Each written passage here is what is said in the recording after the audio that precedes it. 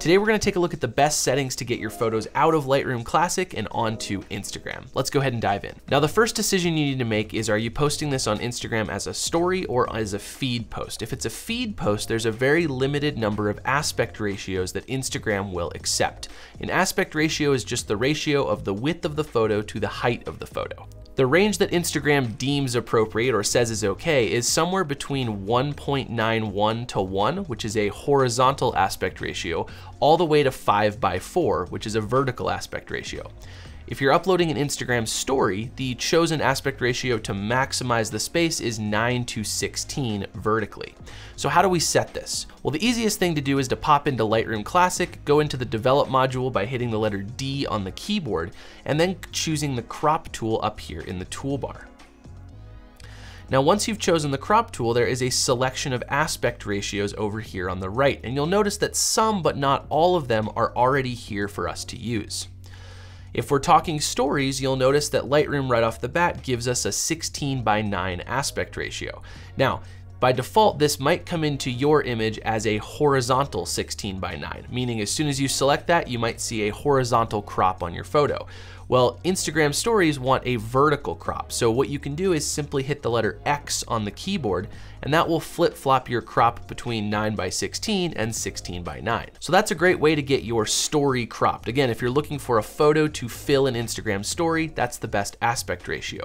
For a feed post though, we need to be between 1.91 to 1 and 4 to 5. So this you might have to set up some custom aspects within the program. The easiest way to do that is to click this drop down right here, come down to enter custom, and you can simply type the two aspect ratios that you're looking for or make whatever new aspect ratio you want. You can see I have 1.91 to 1 and that is a horizontal orientation, so I can hit the letter X to flip it. This is as horizontal, or you could think of as panoramic, as Instagram will allow a horizontal photo to be uploaded. You can upload a more panoramic photo than this, but Instagram is gonna crop it automatically to fit this aspect right here. And I'd highly recommend that if you're a photographer, you take the time to crop your own images versus letting Instagram do it for you. On the other hand, if you wanna upload the most vertical photo possible into a feed post, what we're gonna use is 4 to 5. Now there already is one set up for 4 by 5 slash 8 by 10. Make sure that you flip this with the X key if you need to, to see the vertical 4 by 5 or 5 by 4 orientation. Also, I should say any intermediary aspect ratio between those two is also acceptable. So if you just want something really easy, just remember one to one. Square photos are always acceptable on Instagram's feed and they work great as well. Either way, I highly recommend making sure that your image is cropped properly before moving on to the next step because once we get into the export dialog box, there's no way to adjust the crop easily. So crop first, then export. In this case, I'm gonna export as the most horizontal I can. So I'm gonna go to the 1.91 to 1 and I'm just gonna maximize my available photo space. something like that. Now that we have the image cropped, we can go ahead and go into the export dialog box. The easiest way to do that is tap the letter G on the keyboard to get to our grid of images. And then in the lower left-hand corner, you should have the export button. Go ahead and click on that. Now Instagram makes this pretty easy and there are some little tweaks and tricks we can do in here, but basically this is just how we would normally export a photo for almost anything else with a couple of small exceptions. The first thing we wanna do when exporting is set where we want the photo to go. And I think there's a little bit of confusion out there about exporting for beginning Lightroom users. Exporting always, by definition, makes a copy of your original photo living wherever it lives. It applies the edits that you've made to that copy and it sends that copy somewhere. And the reason I go into this is when you export a photo out of Lightroom, you always can do what you're gonna do with that exported file, upload it to Instagram, do whatever you're gonna do, and then you can always delete that export. If you ever need it again, say like down the road, you're like, oh man, I wish I hadn't deleted that exported photo that I uploaded to Instagram, I need to give it to somebody else. You can always re-export out of Lightroom. So I do not keep my exports. I export the photo, I do what I'm gonna do with it, and then I delete that exported version as soon as it's served its purpose. For that reason, what I prefer to do is send all of my exported photos to the desktop because if it's on the desktop, I know I can pretty easily delete it. Anything on my desktop, once it's served its purpose, I can get rid of it. So up here at the top where it says export location, I'm gonna choose desktop. Now you can also choose here to put it in a subfolder. I'm only exporting one photo here, but I could select 10 photos at a time and export them all together. If you're selecting more than one, I would highly recommend putting them in a subfolder. Just call it something like for Instagram or similar. If you're only exporting one photo, as I am in this case, I'm gonna uncheck that. I just want that photo loosely tossed on the desktop. The next section is file renaming. And personally, in this instance, I'm not gonna rename my file. If I was exporting files for say a client, I might choose to rename them with my business name or whatever the client has asked of me. But for Instagram, it doesn't really matter. So I'm actually gonna collapse the file naming section and I'm gonna be sure that rename to is unchecked. We can also skip over video and we can come down to file settings and image sizing. And this is where the magic really happens. Now, Instagram requires that we upload JPEG photographs. So let's choose an image format of JPEG. Let's also maximize the quality at 100. You could think of quality like compression or smoothing. We want the maximum quality out of our photo. And then for color space, let's choose sRGB.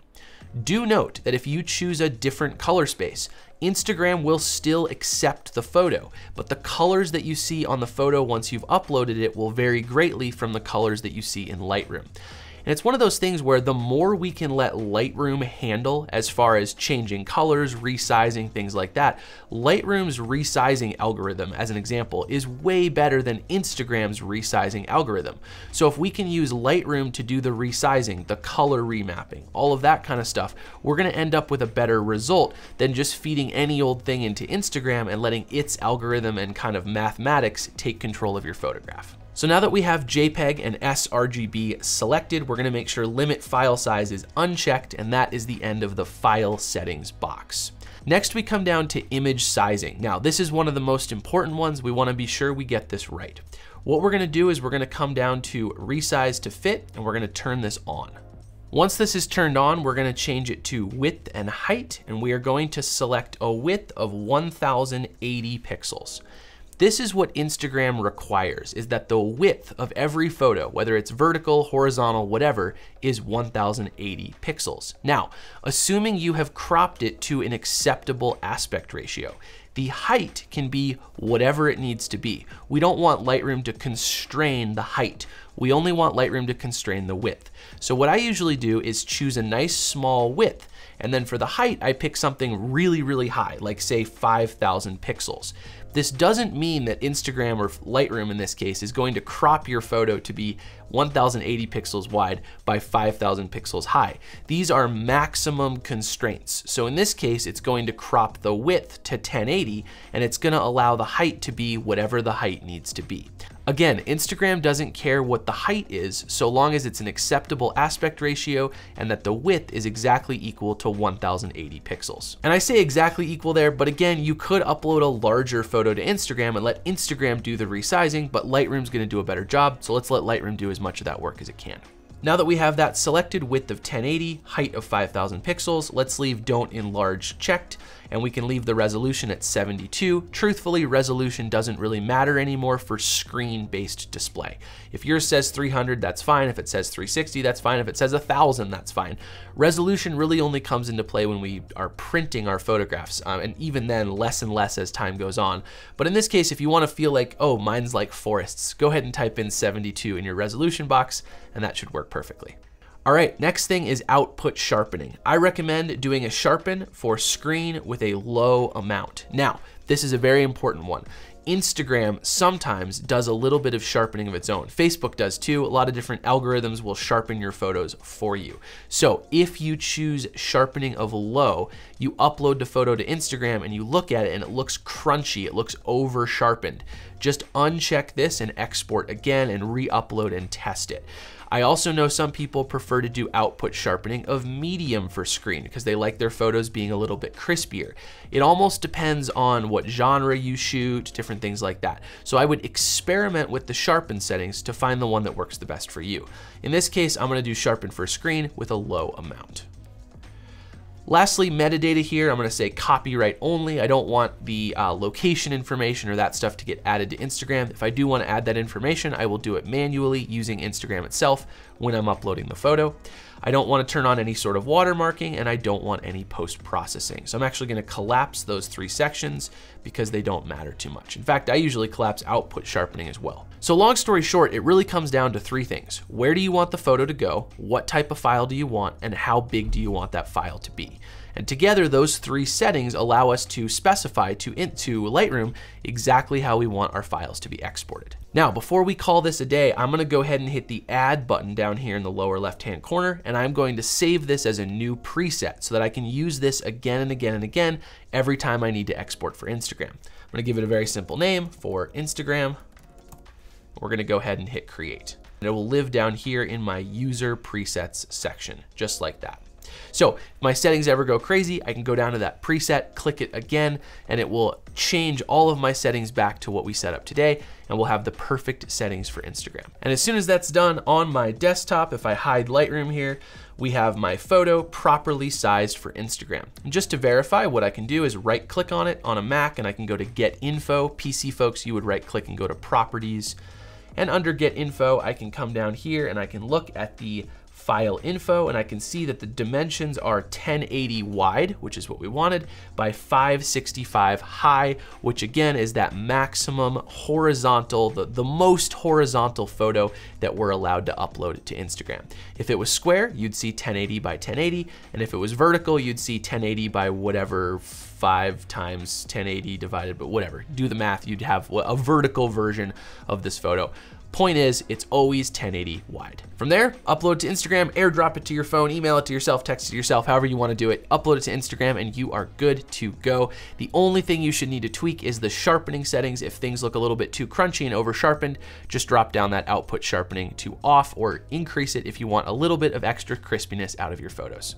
Uh, I know that it seems kind of complicated when you first get into exporting, but really it's a very straightforward process. So hopefully you found this helpful. If you did, definitely hit the like button. I would really appreciate it. Drop a comment down below if you have any sort of questions. And also in the description down below, I'm gonna put a link to our full length exporting guide.